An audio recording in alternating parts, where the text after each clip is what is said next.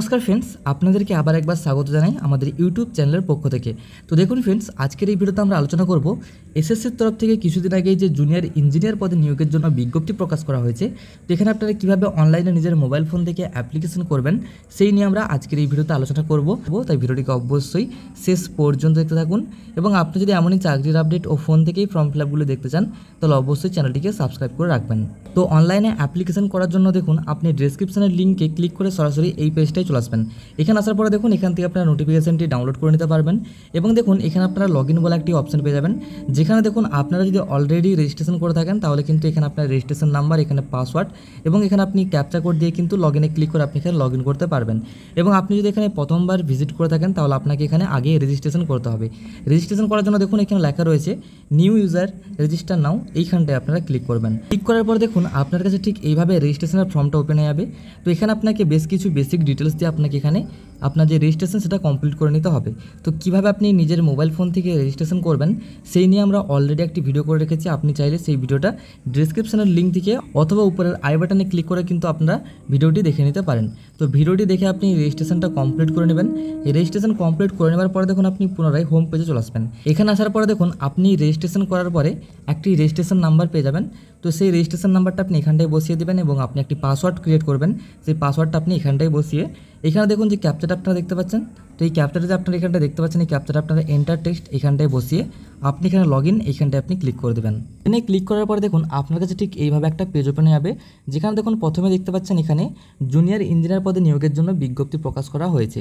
এখানে দেখুন, ছাব্বিশ সাত দু তারিখ থেকে আবেদন শুরু হয়েছে এবং দেখুন এখানে ষোলো আট দু তারিখ পর্যন্ত অনলাইনে অ্যাপ্লিকেশন চলতে থাকবে। তো এখানে অনলাইনে অ্যাপ্লিকেশন করার জন্য দেখুন, এখানে লেখা রয়েছে অ্যাপ্লাই আপনারা এই অ্যাপ্লাই এখানটা আপনারা ক্লিক করে দেবেন। ক্লিক করার পরে দেখুন, আপনার কাছে ঠিক এইভাবে অ্যাপ্লিকেশন ফর্মটা ওপেন হয়ে যাবে। এরপর আপনি নিচের দিকে স্ক্রল করবেন। নিচের দিকে আসার পর দেখুন, আপনার যে বেসিক ইনফরমেশন সেগুলি এখানে অটোমেটিকলি চলে আসবে। এরপর দেখুন, এখানে রয়েছে আপনার প্রিফারেন্স অফ এক্সাম সেন্টার তো এখান থেকে দেখুন, আপনাকে আপনার কাছাকাছি এক্সাম সেন্টার বেছে নিতে হবে। এর জন্য আপনি সর্বপ্রথম সেন্টার ওয়ান এখানটায় আপনি ক্লিক করবেন। সেন্টার ওয়ানে ক্লিক করে এখান থেকে আপনার কাছাকাছি যেটা সেন্টার রয়েছে এখান থেকে আপনার সব থেকে যে কাছের সেন্টারটা সেই সব থেকে কাছের সেন্টারটা আপনি এখান থেকে বেছে নেবেন। যেমন দেখুন, এখান থেকে আমি একটি সেন্টার দেখুন, এখানে বেছে নিচ্ছি। এরপর দেখুন, আপনি এখানে সেন্টার টু এখানটায় ক্লিক করবেন এবং এখানে ক্লিক করে এখান থেকে আপনার দ্বিতীয় যে সবথেকে কাছের সেন্টার সেটা আপনি এখান থেকে সিলেক্ট করে নেবেন। একই রকম এখানে আপনি সেন্টার থ্রিতে ক্লিক করে এখান থেকে আপনি একটি সেন্টার চয়েস করে নেবেন। তো সেন্টারগুলি চয়েস করে নেওয়ার পরে দেখুন, এখানে বলেছে, আপনি যদি এক্স সার্ভিসম্যান হয়ে থাকেন, তাহলে দেখুন আপনি এখানে ইয়েসে ক্লিক করবেন নাহলে এটা আপনি এখানে নো এখানটা আপনি ক্লিক করবেন। তো আপনি যদি ইয়েসে ক্লিক করেন, তাহলে কিন্তু আপনার এখানে জয়েনিং ডেট আপনি কবে এখানে ডিসচার্জ হয়েছেন, সমস্ত কিছু ডিটেলস কিন্তু আপনাকে এখানে দিতে হবে। এবং যদি আপনি এখানে নোতে ক্লিক করেন, তাহলে দেখুন এখানে সমস্ত ডিটেলস কিন্তু এখানে দেখুন অফ হয়ে যাবে। এরপর আপনি নিচের দিকে আসবেন। এরপর দেখুন, এখানে বলেছে whether suffering from cerebral palsy তো এটা এক ধরনের ডিজিজ তো আপনি যদি এই ডিজিজে সাফারিং করছেন, তাহলে এটা আপনি এখানে ইয়েস করবেন নাহলে এটা আপনি এখানে নোতে ক্লিক করবেন। তো আপনার অ্যাকর্ডিং আপনি এটা ইয়েস অথবা নো করে আপনি নিচের দিকে স্ক্রল করবেন। এরপর দেখুন, এখানে বলেছে আপনি যদি ফিজিক্যালি লিমিটেশন হয়ে থাকেন এবং আপনার যদি লেখার জন্য এক্সট্রা টাইমের প্রয়োজন হয়, তাহলে কিন্তু আপনি এখানে ইয়েসে ক্লিক করবেন নাহলে এটা আপনি এখানে নোতে ক্লিক করবেন। এখানে কিন্তু আপনাকে এক্সামের জন্য আপনাকে কিছুটা টাইম এক্সট্রা দেওয়া হবে। যে সম্পর্কে আপনি দেখুন, প্যারা নাইন পয়েন্ট টু এবং নাইন পয়েন্ট থ্রিতে পড়ে কিন্তু আপনি ডিটেলস এখান থেকে জেনে যাবেন। তো আপনার অ্যাকর্ডিং আপনি একটা ইয়েস অথবা নো আপনি করতে পারেন। তো এরপরে দেখুন আপনি নিচের দিকে আসবেন, নিচের দিকে আসার পরে বলেছে আপনার যদি এজ রিলেকশন প্রয়োজন হয়, তো আপনি এখানে ইয়েসে ক্লিক করবেন। ইয়েসে ক্লিক করার পর দেখুন এখান থেকে আপনাকে আপনার যে এজ রিলেক্সেশন কোড সেটা আপনাকে এখানে ক্লিক করে চয়েস করে নিতে হবে। এবং আপনি যদি নোতে ক্লিক করেন, তাহলে দেখুন এখানে অপশানটা কিন্তু অফ হয়ে যাবে। এরপর আপনি নিচের দিকে আসবেন। দেখুন এখানে বলেছে আপনি যেই পোস্টের জন্য অ্যাপ্লিকেশন করতে চান, সেই পোস্টটা আপনাকে এখান থেকে সিলেক্ট করতে হবে। তো আপনি প্রথমে এখানে ক্লিক করে দেখুন এখানে হচ্ছে সিভিল ইঞ্জিনিয়ার ইলেকট্রিক্যাল এবং মেকানিক্যাল তো আপনি যেটার জন্য অ্যাপ্লিকেশন করতে চান, সেটা আপনি এখানে সিলেক্ট করবেন। সিলেক্ট করার পর দেখুন, সেটাকে আপনাকে এখানে ক্লিক করে ভেরিফাই করে নিতে হবে। তো আপনি এখানে ক্লিক করে ভেরিফাই করে নেবেন। ভেরিফাই করে নেবার পরে দেখুন, আপনি নিচের দিকে স্ক্রল করবেন। দেখুন, এখানে রয়েছে কোয়ালিফাইং ডিটেলস তো আপনি এখানে যেই পোস্টের জন্য অ্যাপ্লিকেশন করবেন, তার উপর আপনি কোন ডিগ্রিটি কমপ্লিট করছেন, সেটা আপনাকে এখান থেকে সিলেক্ট করতে হবে। তো এর জন্য দেখুন, আপনি এখানে সিলেক্ট এখানটায় ক্লিক করবেন, এখানে ক্লিক করে এখান থেকে যদি আপনি ডিগ্রি করে থাকেন, তো ডিগ্রি আপনি ডিপ্লোমা তিন বছরের করে থাকলে আপনি উপরেরটা সিলেক্ট করবেন। এবং যদি চার বছরের করে থাকেন, তো আপনি এখানে চার বছর এটা আপনি এখানে সিলেক্ট করতে পারেন। তো আপনার অ্যাকর্ডিং আপনি এখানে যে কোনো একটা সিলেক্ট করবেন। সিলেক্ট করে নেওয়ার পর দেখুন এখানে হচ্ছে স্ট্রিম তো আপনি যে স্ট্রিমে কমপ্লিট করেছেন সেটা আপনি এখান থেকে সিলেক্ট করে নেবেন। সিলেক্ট করে নেওয়ার পর দেখুন এখানে বলেছে, আপনি যে পোস্টে অ্যাপ্লিকেশন করছেন তার জন্য কিন্তু আপনার এখানে টু ইয়ার মিনিমাম এক্সপিরিয়েন্স লাগবে। তো এটা সমস্ত পোস্টের জন্য কিন্তু লাগবে না এবং সবার জন্য এটা লাগবে না। তো আপনারা নোটিফিকেশানটি ডাউনলোড করে আগে চেক করে নেবেন যে আপনাদের এক্সপিরিয়েন্স লাগবে কি না আপনাদের যদি এক্সপিরিয়েন্স লাগে তাহলে কিন্তু আপনাকে এখানে মিনিমাম টু ইয়ার আপনাকে এখানে এক্সপিরিয়েন্স ডিটেলস দিতে হবে।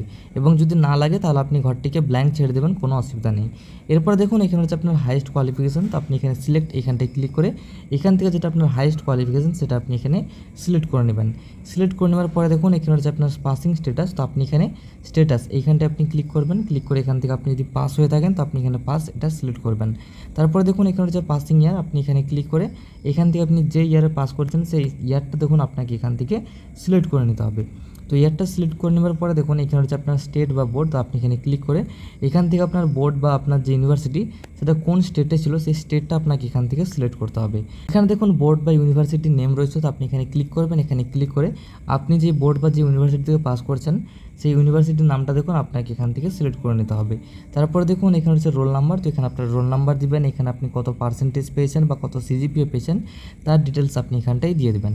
এরপরে দেখুন, নিচের দিকে আসবেন, এখানে বলেছে আপনি যদি আপনার ডিটেলসগুলিকে অন্যান্য জবের জন্য অ্যাভেলেবেল করতে চান, তো আপনি এখানে ইয়েসে ক্লিক করবেন, নাহলে এটা আপনি এখানে নো এটাতে আপনি ক্লিক করবেন। এরপর আপনি নিচের দিকে আসবেন। নিচের দিকে আসার পরে দেখুন, এখানে বলেছে, আপনাকে এখানে ফটোগ্রাফ আপলোড করতে হবে। ফটোগ্রাফের দেখুন, এখানে সাইজ হতে হবে। কুড়ি থেকে দেখুন এখানে বলছে পঞ্চাশ কেবির মধ্যে আপনার ফটোগ্রাফের সাইজ হতে হবে এবং আপনার যে সিগনেচার তার দেখুন এখানে সাইজ হতে হবে দশ থেকে এখানে কুড়ি কেবির মধ্যে কিন্তু আপনার ফটো এবং সিগনেচারের সাইজ হতে হবে।